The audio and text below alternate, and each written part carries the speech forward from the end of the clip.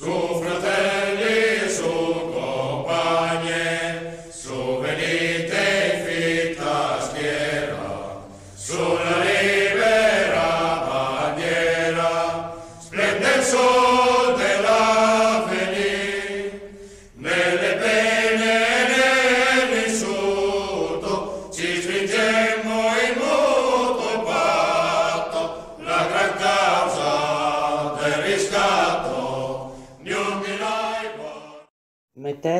aveva ricevuto le notizie e i saluti del Tinai l'ultima volta in occasione delle ricorrenze del 95.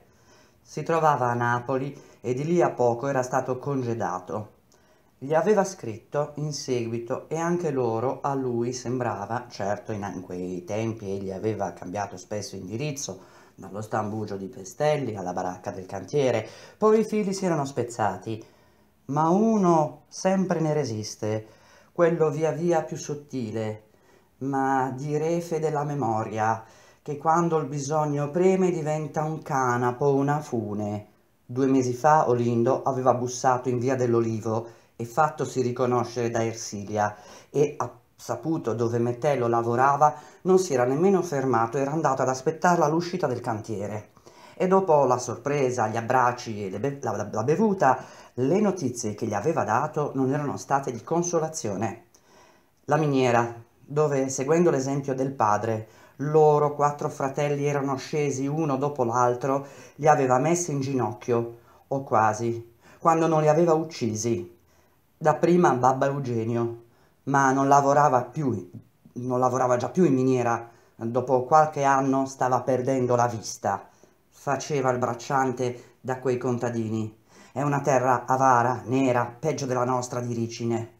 Magari, si colpì tra cosce e inghine con un pennato, sembrava una cosa da nulla, ma la ferita si infettò, ebbe un'agonia di tre giorni. Nel delirio parlava di Rincine, dava la colpa al guardia d'averlo ferito, fece anche il nome di Metello prima di morire.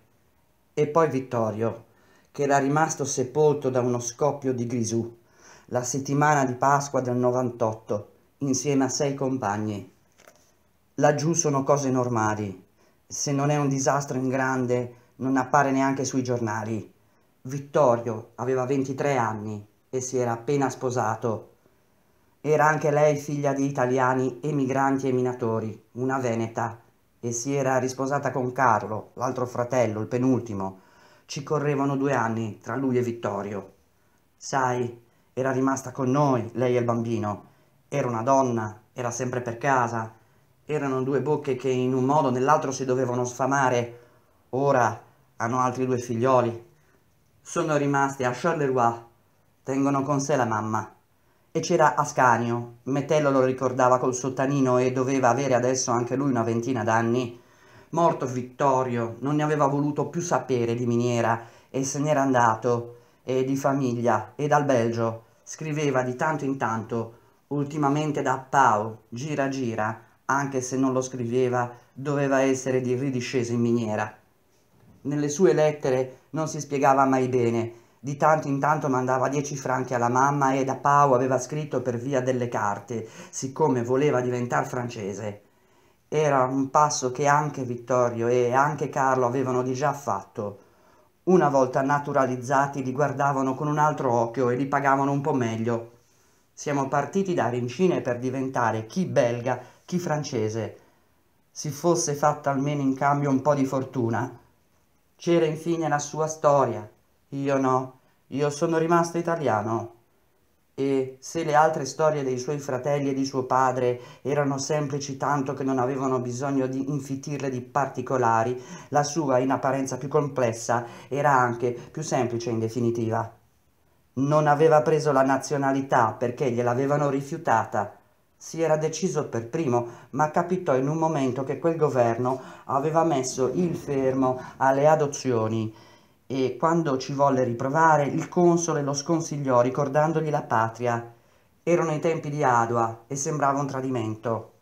Se non mi fossi lasciato intenerire, a quest'ora non sarei qui a chiederti, metello, fammi pigliare come manovale, mettici una parola. Lavoravi in miniera da dieci anni, Si era sposato anche lui con un'italiana e gli erano nati i primi due figlioli, quando una, durante una fuga di Grisù, non uno scoppio, una fuga, cose che capitavano tutti i giorni, cotesto giorno la maschera non funzionò o lui, se l'era calzata male, respirò tanto gas prima di raggiungere l'altra galleria, da crollare a terra come un cencio appena in salvo. Fu in sanatorio per sei mesi, ne uscì coi polmoni rattoppati, ma gli riconobbero il diritto alla liquidazione. Una miscea, ma da un male sembrava nato un bene. Disponeva di un piccolo capitale, di tornare in Italia malgrado la mamma non facesse che sognare rincine e l'onda come una prigioniera, l'aria e il sole non se, la, non se lo proposero nemmeno. Cosa sarebbero tornati a fare? Oramai la loro vita era lì, ci avevano messo le radici. Questo era successo tre anni prima. Coi soldi della liquidazione aveva preso in appalto un bettolino. Si cucinava la pasta asciutta, sai, i nostri minestroni, la ribollita. Mi, fece mandare il vino di, mi feci mandare il vino di contea, pagando, si intende, dalla zia, la sorella del babbo, te la ricordi? E fattoressa da un pezzo. Hanno fatto i quattrini, lei e lo zio Ascanio. Al suo bettolino ci andavano anche i capi squadra e gli assistenti e non soltanto gli italiani. Sembrava si cominciasse a vedere un po' di luce. Ma che? Scopersero che quei minatori giocavano d'azzardo con le carte nel retrobottega e gli venne ritirata la licenza per scampare il carcere dove pagare una multa che si mangiò il capitale. Fu tutta invidia, una spiata, mi vollero rovinare, siccome non ammettono che un italiano possa salire più su di uno scalino. Tornare in miniera non poteva, non lo avrebbero ripreso e non glielo permetteva la salute. Intanto gli erano nati altri due figlioli. Cosa facevo? Dopo qualche mese non avevo più un franco, vivevo alle spalle di Carlo e siamo sei persone. Il ragazzo più grande ha otto anni appena.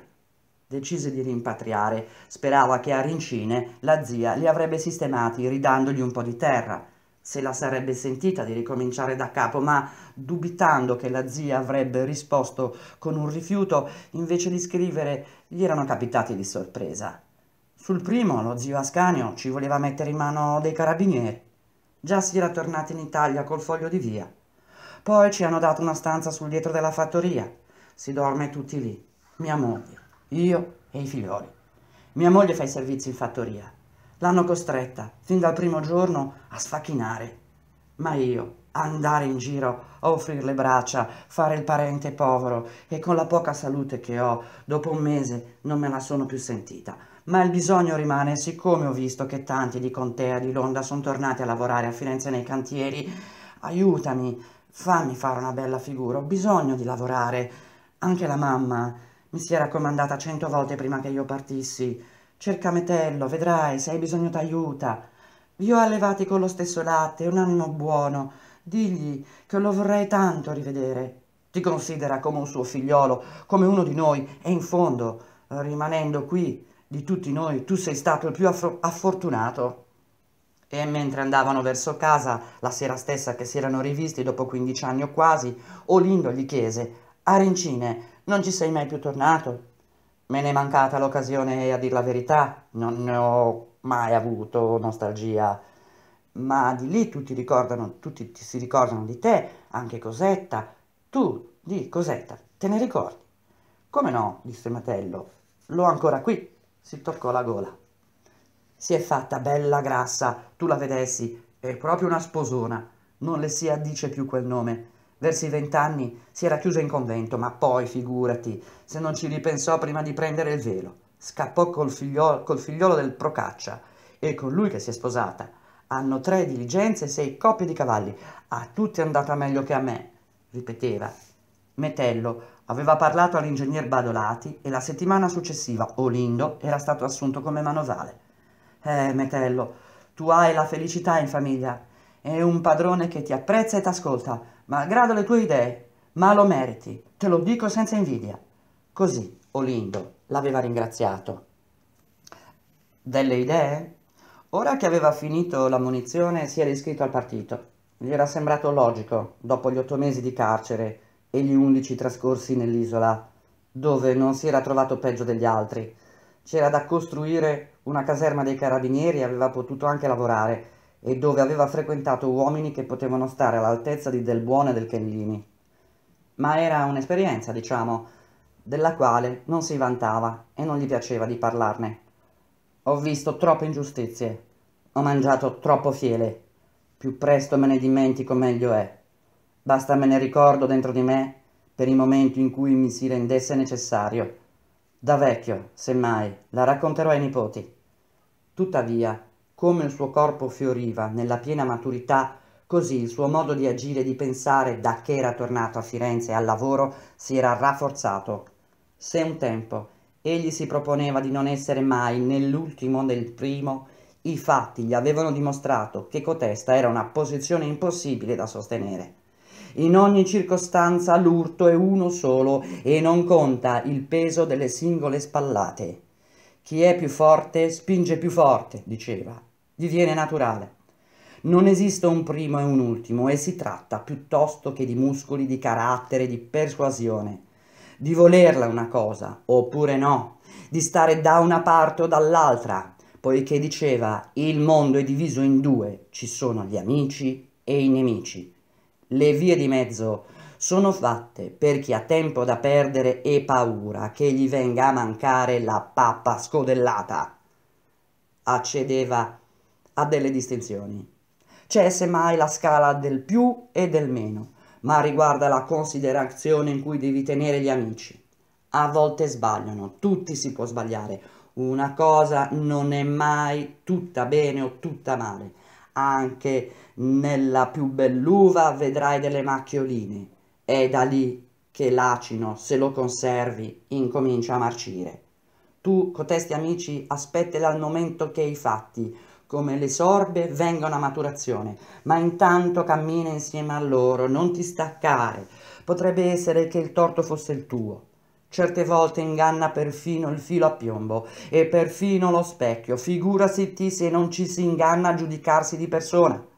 Infallibile non è nemmeno il Papa, nemmeno Marx. Credo anche se pensano, credo anche se non l'ho studiato, nessuno, quindi tra quelli che la pensano come te, guarda, chi, chi ne sa più di te, pesalo, fatti capire e poi vagli dietro, vai bene.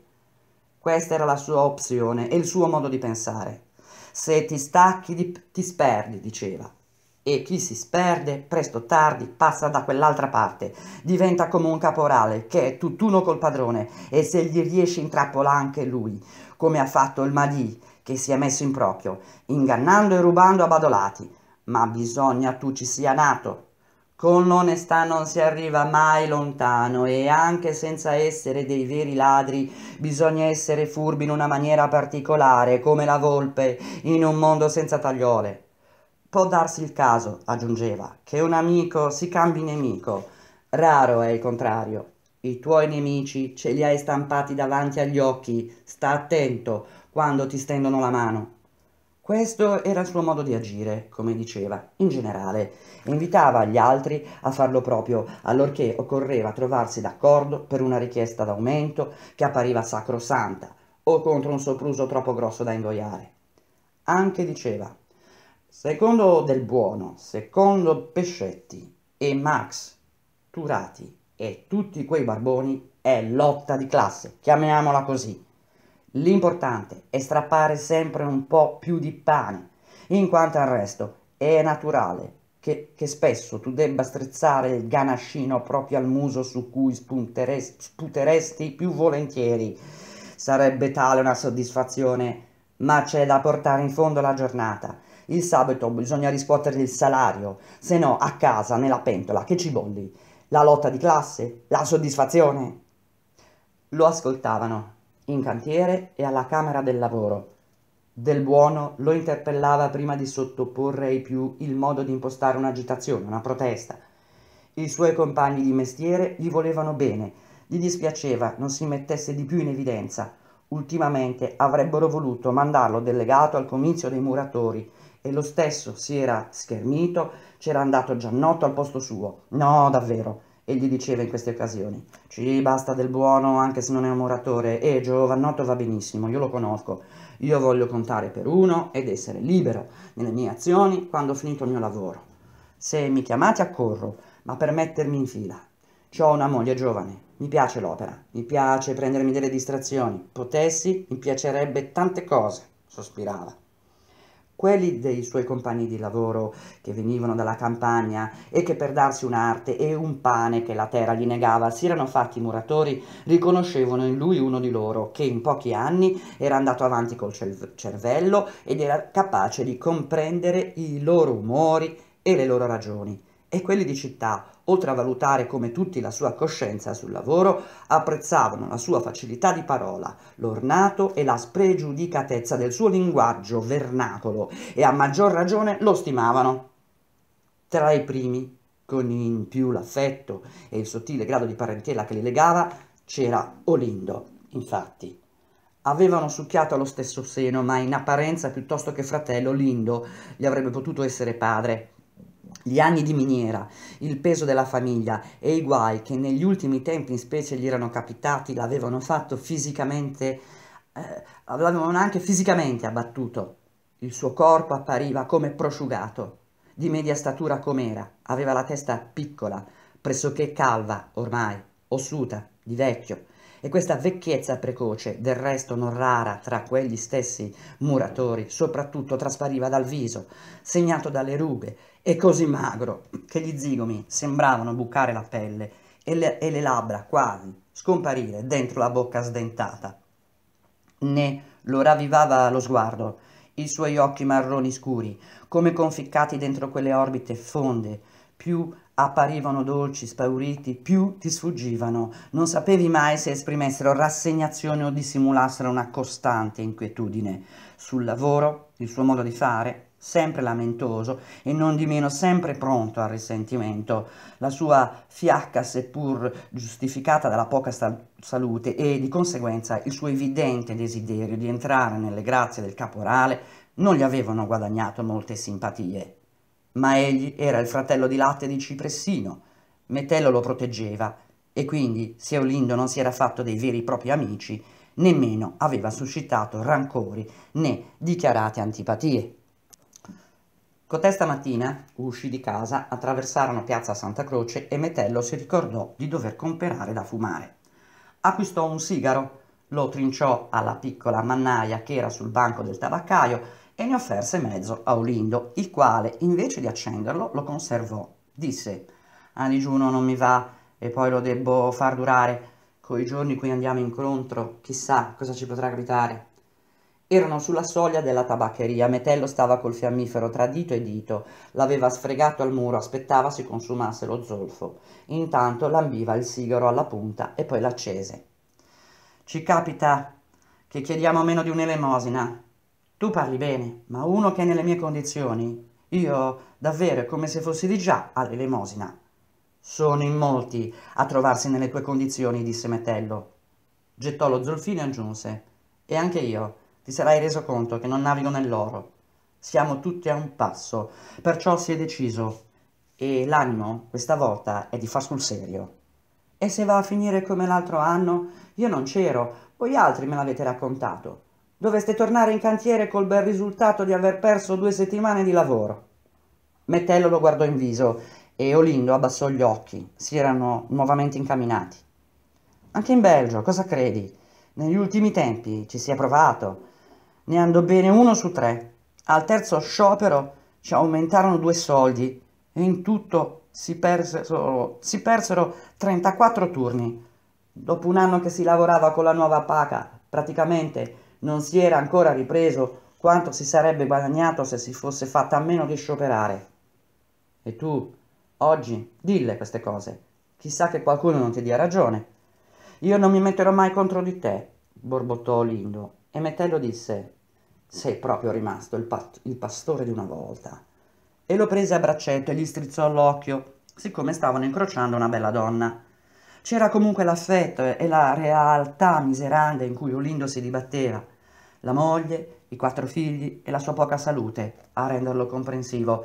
Gli disse, non è stata mica un'idea mia, o di Del Buono o di Gervignani.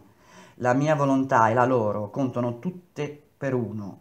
È stata la maggioranza e proprio quelli che vengono di campagna, come te, sembrano i più decisi, siccome non ce la fanno più a tirare avanti. Se non ce la fanno loro e non ce la fai tu, che sei muratore, cosa dovrei dire io, che alla mia età lavoro e piglio la paga di un manovale? Ecco, disse Metello, continua il discorso. Sarebbe erano sbucati in corso dei tintori e del buono sulla porta della Camera del Lavoro tormentava la corona del grosso orologio che il giornale del partito regalava ai sostenitori, col nome inciso sulla cassa. Vide Metello e gli gridò Sei in ritardo, non ti pare? No, non mi pare. È il tuo orologio che non può fare a meno di andare avanti. Lo devi fermare. Risero e tutti insieme allungarono il passo, presero delle vie traverse e oltrepassarono la circonvalazione. C'era Giannotto, c'era Renzoni. Renzoni, piccolo come lo chiamavano, un manovale piccolo d'anni e di statura, quanto il giovane re d'Italia e non, non aveva ancora fatto il militare. E dei cinque, del buono, che era il più anziano, era quello che camminava più spedito. Ora la strada diventava obliqua. Chissà, chiusa dagli alti muri ai due lati. Lasciava sulla sinistra la villa Medicea e al di là di Correggi si inoltrava verso il Poggio la risalivano a due, a tre, distanziate in fila i muratori. Era un metà, una metà di maggio torrida che anticipava l'estate. Dico, del buono non si potrebbe andare più piano? Io ho fatto il soldato in fanteria, non i bersaglieri. Del resto lo vedi quanto ce n'è ancora per la strada.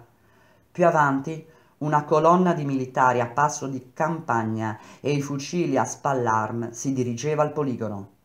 Poveri ragazzi, disse Metello, come li compiango. Ma del buono, soffermatosi un attimo. Su, su, disse. Mi sembra sia bene arrivare per primi, non ti pare? E poi, per raggiungere Monterivecchi, ci vorrà un'altra mezz'ora. Montevecchi era ancora lì, uguale, e li aspettava. Forse qualche faggio si era seccato o l'avevano tagliato, altri ne erano cresciuti. L'erba dei prati non era più la stessa, ma uguale, così i sassi, gli arbusti, i papaveri ai bordi della carreggiata e il frinire delle cicale, come in una domenica di tanti anni prima, quando ci si davano appuntamento Betto e Caco, Quinto Pallesi e il padre di Miranda e Fioravanti, il tornitore, le loro donne amiche. Cosa c'era di cambiato? Coll- sulle colline che circondano la città, negli stessi prati e boschi dove 20 o 30 anni prima anarchici e internazionalisti si riunivano a gruppi con chitarre, vino e soppressata, fingendo innocenti gite domenicali per distrarre l'occhio della polizia che ovunque li seguiva, convenivano ora i muratori per discutere dei loro problemi. Allora erano anarchici e operaisti della prima internazionale, adesso erano socialisti e della seconda internazionale e la diversità non consisteva nella differenza di un numero o di una parola, bensì nel fatto che non erano più dei gruppetti, ma delle leghe. Dapprima le avevano chiamate di resistenza, leghe di resistenza fra cappellai in paglia, fra maniscalchi, fra sellai e carrozzieri, fra marmisti e scalpellini, cuochi e camerieri, stuccatori e formatori, fra sarti, fra infermieri, fra doratori, fra corniciai, fra operai dei molini a vapore e a forza idraulica, fra trombai e fontanieri, e fra cocchieri di fitto e venditori di giornali e operai addetti alla vuotatura in dora, perfino. Erano un esercito. 280 soltanto i vuotatori ed erano organizzati loro e le loro donne. La lega delle sigaraie, dopo quella dei muratori e manovali, era la più numerosa e dietro avanti a loro, invece di avere dei circoli, delle società operaie del mutuo soccorso, li guidasse De Ambri Soturati, avevano ora anche un partito e deputati in Parlamento e giornali che uscivano tutti i giorni, puntuali come la nazione c'era che proprio adesso che agli effetti della legalità e dell'ordine pubblico e della sicurezza dello Stato erano molto meno pericolosi. La polizia sembrava temerli di più. Gli era stato concesso di riaprire la Camera del Lavoro e subito le loro associa- associazioni, da leghe di resistenza, erano diventate leghe di miglioramento. Cosa intendessero lo dicevano le parole cresciuti di numero via via che si aprivano le nuove fabbriche, i meccanici, i vetrai, i fonditori, i ceramisti, questi muratori, si accresceva la loro organizzazione. Certe categorie come i metallurgici, i chimici, i parrucchieri avevano creato delle federazioni e i ferrovieri loro un sindacato. Così riuniti, per arti, per mestieri, da se stessi schedatisi, sembrava più facile poterli sorvegliare. Al contrario, rissosi oramai solo negli atteggiamenti, nelle pose, sempre disarmati, non gli si potevano attribuire idee all'Orsini. Dandosi l'occasione incrociavano le braccia e restavano a guardare. La grande retata del 98 sembrava li avesse trasformati non uno dei reduci del domicilio coatto aveva mancato ai suoi doveri di sorvegliato speciale e a tutti l'amnistia concessa per l'incoronazione di Vittorio III aveva lavato la fedina. E bravo lo Spiombi! Così avevano salutato l'atto di clemenza che li rimetteva a godere dei diritti civili. Sarebbe bastato un evviva o un abbasso per poterli di nuovo imprigionare, ma si erano fatti astuti erano dei fiorentini, dei toscani che avevano imparato la lezione. Gente come loro, anche più pericolosa e decisa di loro, nelle romagne dove il sangue è caldo e gli entusiasmi sono sempre accesi, ce n'era che si lasciava andare alla sommossa, alla ribellione e con i loro simili come, e con i loro simili della bassa Italia, ignoranti e indubbiamente anche più affamati di loro, bastava ancora poco per fargli rischiare il codice alla prima uscita ma questi di Rifredi, di San Nicolò, di Ponte, Aema e quei contadini del Galluzzo, dell'Impruneta, di Contea, che non avendo più terra e non volendo più lavola- lavorarla, si erano messi a praticare la mola e la calcina, erano, se possibile, più furbi, più evoluti e coscienti, come dicevano degli operai di Milano e di Torino. Quando preparavano uno sciopero e lo mettevano in atto, la polizia si doveva limitare a circondare le fabbriche e i cantieri. Finché non turbavano l'ordine pubblico e non attentavano alla sicurezza dello Stato, non c'era altro da fare. Del resto, erano già loro uno Stato. Non solo essi lo proclamavano, ma il governo gliene aveva dato atto, diciamo.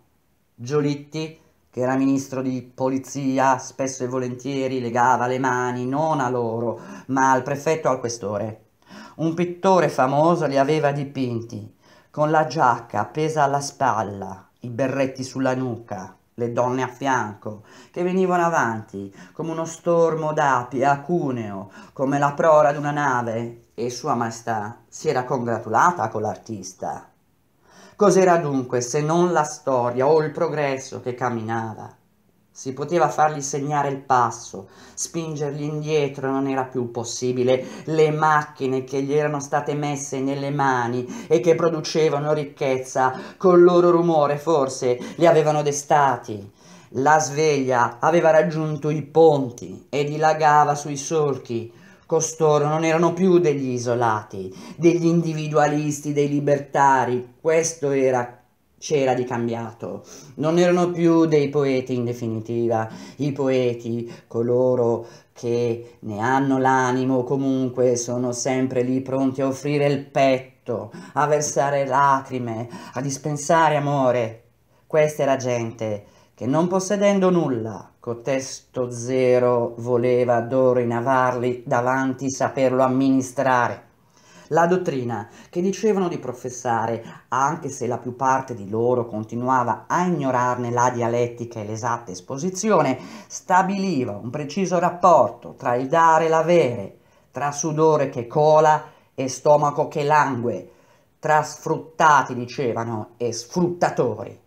Era gente magari ancora illetterata, come il Nickeri, che gli raccontava la storia cantandola in ottave, ma che credeva di avere capito poche cose, ma chiare, e ci credeva. Credeva nel suo stomaco e nel suo sudore. Più che l'intelligenza, l'illuminava l'istinto. una verità brutale ma esplicita la confortava con la sua ragione e più dei capi facili a spendersi o deviare, anche se sempre o quasi pagavano di persona, era la propria forza naturale che guidava cotesta gente, diritta per la sua strada.